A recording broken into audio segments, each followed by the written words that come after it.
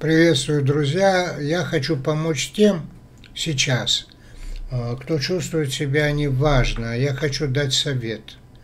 Э, я хочу подсказать и напомнить, что у нас есть, во-первых, бесплатные ликбезы по 2-3 часа.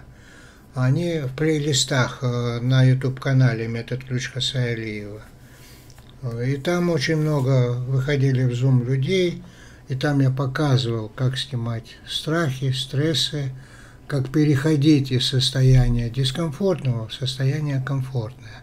И по этим советам люди делали, и вы тоже можете смотреть и делать. И есть у нас еще целебный ролик, который так и называется «Целебный ролик «Помоги себе сам». Там одноминутное ключевое дыхание и волна.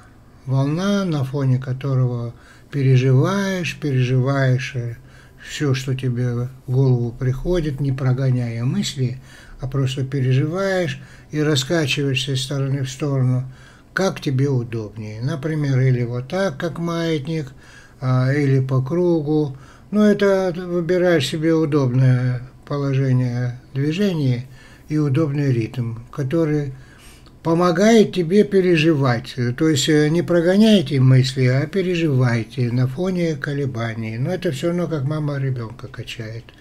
И когда вы переживаете на фоне колебаний, которые вам удобно делать, да, через некоторое время у вас может быть и слезы пойдут, может быть, э, зевота пойдет, может быть, сонливость появится, может быть, тиковые какие-то напряжения или подергивания, а, или дрожания, или плавательные движения, или движения боксерские, спонтанные появятся, или движения дирижирования. Любые движения, которые появляются, потребность которых возникает.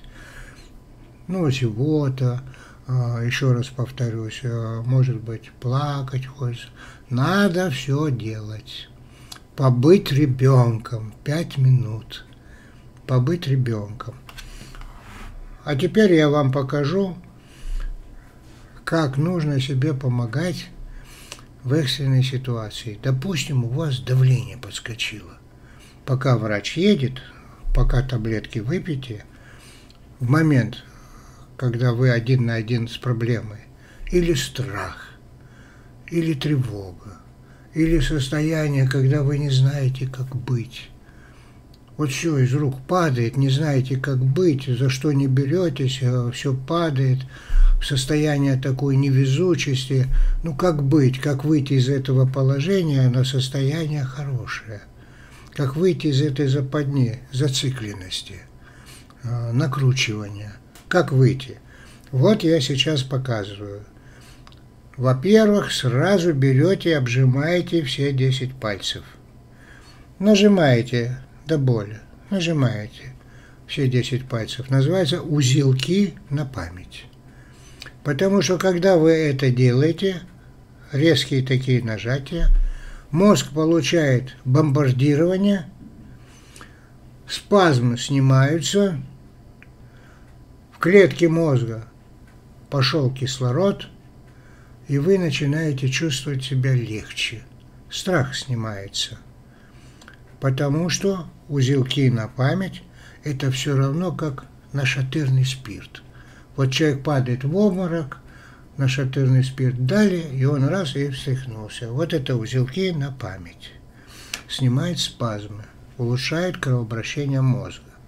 Чтобы еще больше улучшить свое состояние, вы берете, кладете руку на руку, кисть свободная, подбиваете эту руку рукой, тогда кисть свободнее, и начинаете от затылка до плеча и от затылка до лопатки искать точки, которые наиболее чувствительные. Во, и нашел, и разминаете. И подбиваете, чтобы рука эта не уставала, а чтобы спокойно это могли делать, пальпировать. Но без фанатизма спокойно. Таким образом, справа, слева, кому как удобнее, пропальпировали эти участки. 20-30 секунд. 2-3 раза в день. И сейчас. Делайте это. И потом, при страхе, ушки сразу разминаете, или давление подскочило, как я говорил, ушки разминаете, и потом за ушками мысочек здесь тоже разминаете, разминаете, разминаете, и потом центр ладошки и центр носика. Вот так, мягенько. Разминайте. Ушки это очень хорошо. Когда ушки разминаете, голова проясняется. Да-да, ушки разминаете. Мягко.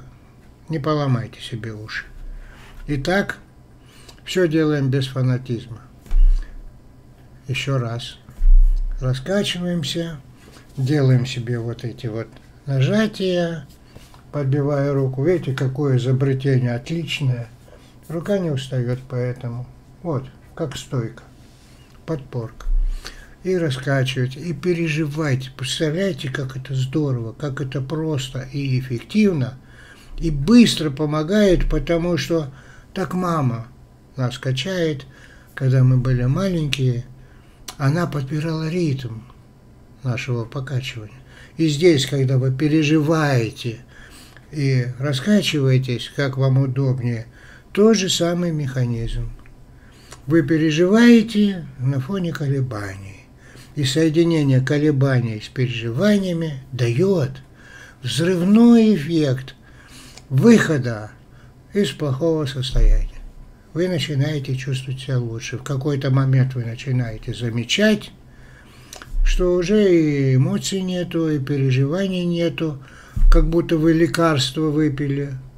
Да-да, потому что в этот момент включаются гормоны, эндорфиноподобные гормоны, которые создают вместо адового состояния райское состояние.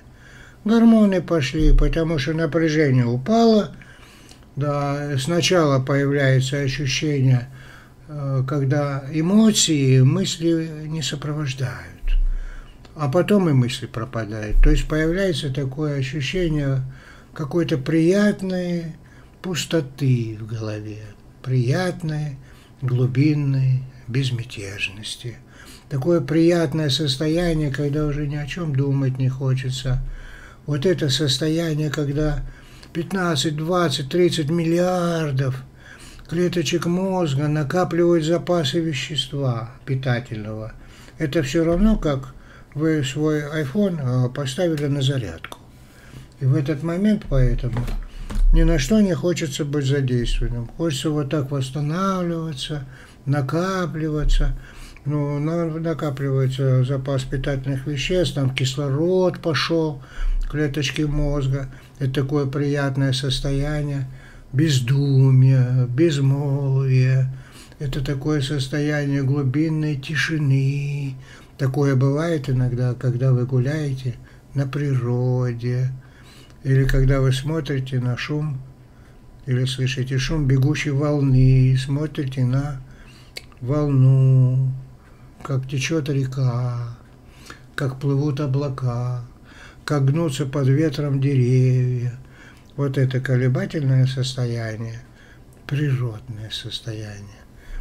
И побудьте так в этом состоянии столько, сколько вам хочется. Если вам хочется плакать, еще раз повторяюсь, плачьте. Не прогоняйте плохие мысли. Просто делайте то, что вам хочется – Хочется зевать, зевайте, повторяю. Хочется смеяться, смейтесь. Хочется стонать, стоните. Хочется кричать, кричите. Побудьте пять или десять минут ребенком. И получится у вас восстановление. Это мозговой санаторий. Это состояние восстановления, гармонизации, Здесь восстанавливаются не только истощенные и нарушенные функции организма, здесь уходит психосоматика, уходит самонакручивание, уходит страх, улучшается кровоснабжение мозга и появляется ощущение внутренней легкости, внутренней уверенности, что все будет хорошо. И на самом деле так через это люди выздоравливают. На самом деле так. Я так помогаю многим выходить из ковидного состояния, из астматических приступов, из эпилептических приступов, из судорожных состояний, и всяких дрожательных параличей типа Паркинсона и типа там базедовых и всяких дел, потому что щитовидка начинает лучше работать, начинает лучше работать внутренние органы и системы организма, начинают работать слаженно и гармонично, и во всем теле, и во всей психике нашей появляется целостность. Духовно-физическая целостность когда мы вдруг начинаем вспоминать, что да, ведь такое же у нас было. Например, было в детстве, когда мы были там в нашем детстве, например, на речке были, или на охоте были там с папой, с дедушкой, или в горы ходили в походы, или там бегали с детишками, с другими в футбол играли. Вот было такое детство когда была такая внутренняя естественность. И вспоминается там это детство. Я вам предлагаю, даю вам домашнее задание, совет. Каждый день, в удобное для себя время, одну минуту, пять минут, десять минут, сколько хочется, побудьте на этой восстанавливающей ключевой волне. Это волна ключевая волна, которая снимает лишнее напряжение и дает вам возможность накопить силы и энергию. А в клетках мозга запасы питательного вещества. И это прекрасно. И тогда вы уже начинаете не выживать, а начинаете, будучи восстановленными, созидать, уже вам хочется и петь, и рисовать, и танцевать, уже вам хочется делать добрые дела, уже вам хочется любить всех, любить весь мир, любить все человечество.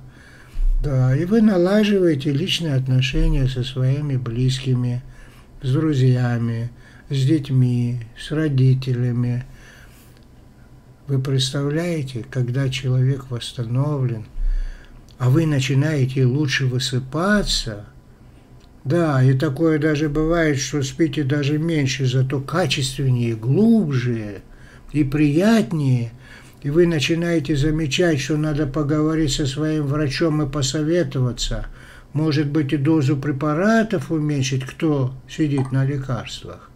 Обязательно советоваться, потому что если вы сами сбрасываете какие-то лекарства, нельзя так делать. Если вы давно принимаете препараты, нельзя так бросать резко.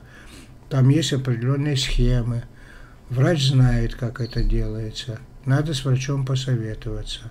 А если вы не принимаете препараты, будьте свободнее, будьте смелее. Это профилактика от различных психосоматических нарушений и освобождение – от них. А самое главное, вы начинаете замечать, что во всех вопросах вы становитесь свободнее, увереннее, смелее, вы начинаете замечать, что становитесь естественнее. Да, поэтому пять минут в день хотя бы побудьте, как в детстве. Да, даже знаете, я вам посоветую – и даже пример проведу, что даже взрослые мужики такие крутые, когда они там температурят или там насморк или что, становятся как дети. Да, я, я объясню сейчас почему. Потому что мозг переходит э, на более экономный энергозатратный режим, когда он тратит меньше энергии, ему не надо делать то, что надо делать, как взрослому человеку, а он делает как маленький ребенок, он капризничает – а именно потому, чтобы накопить энергию. Это инстинкт организма, выработанный миллионами лет а, эволюции. Поэтому женщины знают, муж, например, такой здоровяк, приболел немножко, становится капризный, как ребенок. Да, и она ему скажет, умная женщина скажет, ну капризничай, капризничай, выздоравливай быстрее. Да, друзья, поэтому если вы по пять минут в день хотя бы будете капризничать, становиться как дети, вы экономите энергию. А свободная энергия, которая экономится у вас, она теперь уже не только для выживания, она уже на созидание. Вы уже начинаете творить, создавать что-то полезное, нужное для людей, помогать людям. Вы становитесь добрее. Агрессия снижается. И уходит вот это так называемое, забыл это слово такое, простерканация или как она, вот никогда это не запоминаю. Вот это слово, которое никогда не могу запомнить. Но неважно. Но вы понимаете, когда вам что-то надо делать, вы все время откладываете, откладываете, откладываете. А вам надо, а не хочется, потому что мозг нуждается в энергии, и всякое дополнительное напряжение – тут же вас оттуда выбивает. Вы не можете сосредоточиться на том, что вам нужно, потому что сил не хватает в клеточках мозга. А сейчас вы их накапливаете. И поэтому вы заметите, что вы теперь можете доделать дело, которое бросали. Вы сможете приступить к проектам, которые давно вас ждут. Вы сможете делать больше, чем раньше. Да, и гораздо легче настраиваться тому, что вам надо, а не только хочется. Да, друзья, это тренирует силу воли, потому что вы снимаете лишнее напряжение и накапливаете в клеточках мозга запасы питательных веществ. Таким образом, вы меня поняли. Целебный ролик «Помоги себе сам» на YouTube-канале – бесплатные ликбезы по 2-3 часа там у меня на YouTube-канале в плейлистах. Посмотрите на главной странице YouTube у меня. Да, и вот этот сегодняшний ролик. Завтра посмотрите еще раз, и послезавтра посмотрите еще раз. И вы начнете в этом ролике видеть многое, что с первого раза, может быть, и не заметили.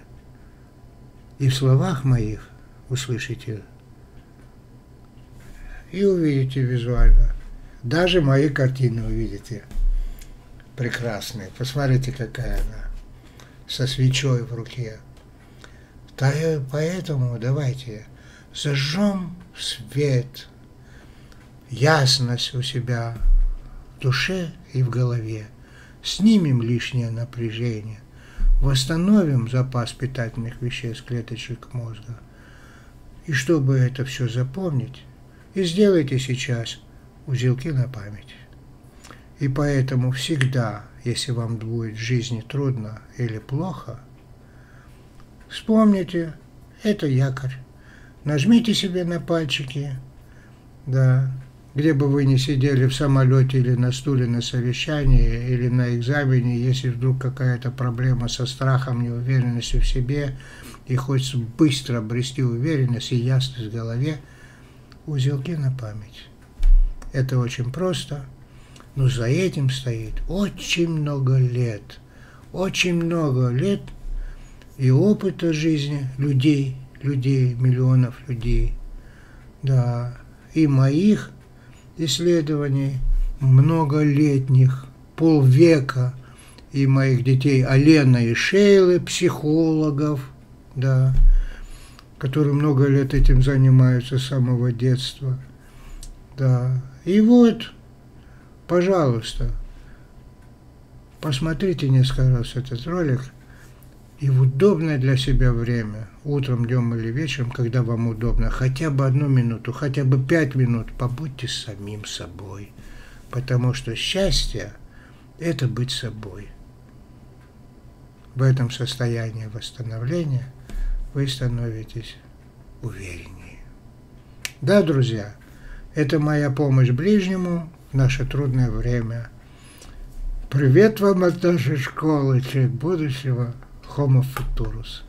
Мне недавно человек один, очень важный для меня, потому что очень мыслящий человек, у которого очень много лекций там, сказал интересную вещь.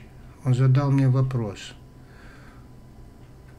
а вот люди будущего, о которых вы говорите, а, вообще на самом деле будущие люди, они будут такие же, как мы, или они будут все-таки другие?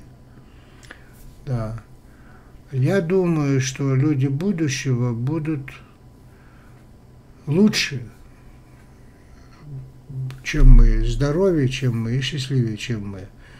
Потому что они будут лучше управлять своим состоянием, потому что человек может управлять только тем, что им осознанно, все остальное управляет им.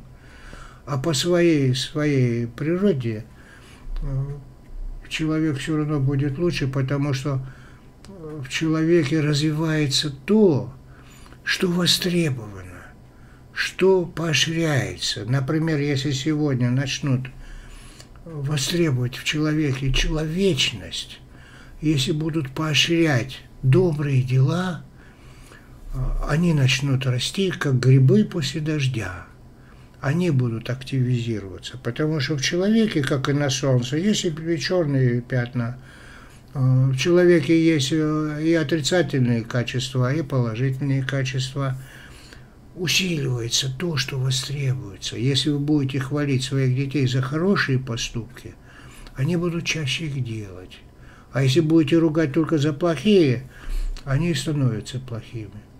Друзья, давайте будем востребовать э, от людей хорошее и будем хвалить друг друга за хорошее – будем поддерживать этого. Это, это и будет э, активация именно положительных сторон личности у, у человека. Это то, чем мы занимаемся в нашей школе «Человек будущего». Это соответствует русле эволюционного развития человека. А, и вот этот человек, который мне задал этот вопрос, который мы философски обсуждаем, такие вопросы, я его очень уважаю, я смотрю его лекции. И если вы меня смотрите, спросите, какие книги мне нравятся и какие лекции я иногда смотрю с большим удовольствием и интересом, книги мне нравятся, например, Рэй Брэдбери, книги мне нравятся Курта Ванигута, очень хорошая книжка «Колыбель для кошки». Это что делал в этот вечер человек, который когда бомбу бросили им изобретенную на Хиросиму. Он, оказывается, сидел, как ребенок, играл в колыбель кошки. Такие ниточки перевязаны вот так вот, вы, наверное, знаете. А человек этот, который делает прекрасные лекции о Гурджиеве, о Фрейде, о Юнге, обо всех вот этих философах, учителях и так далее, разные самые лекции. Его зовут Дмитрий Анатольевич Смыслов – я вам рекомендую, посмотрите его лекции. Для участников и слушателей нашей школы «Человек будущего. Homo Futurus» будет полезно смотреть именно такие лекции глубокого компетентного специалиста, чем всякую ерунду, которую в большом количестве пишут в интернете. Да, особенно в эзотерике, где смешивают, где смешивают очень хорошие вещи – наука еще не доказанные, а, и всякую билиберду, где все смешивается, и очень много людей, у них просто мозг плавится. А наша школа, она занимается тем, чтобы люди были а, разумны. Homo sapiens, человек разумный и творческий. И поэтому, если вы будете по методу ключ подбирать себе приемы, которые вам синхронны, то есть совпадают с вашим состоянием в моменте, у нас же много приемов. У нас там и хлест, у нас там и лыжник, у нас там и шалтай-болтай, у нас там и подрагивание, и подергивание, у нас там потряхивание и прочее.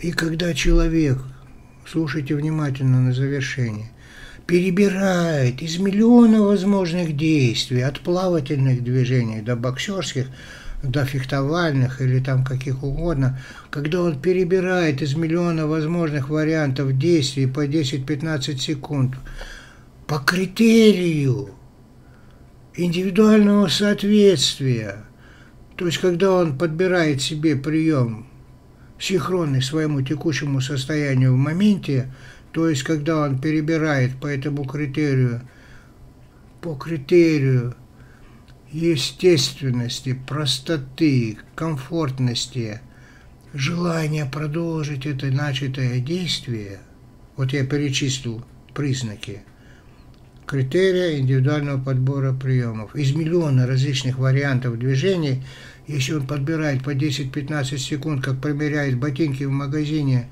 по этому критерию, еще раз запомните, просто, комфортно, легко и хочется продолжить. Если по этим критериям человек подбирает себе действия, он создает у себя эффект быстрого сброса накопленных напряжений, потому что что может быть проще подбирать то, что тебе просто и приятно.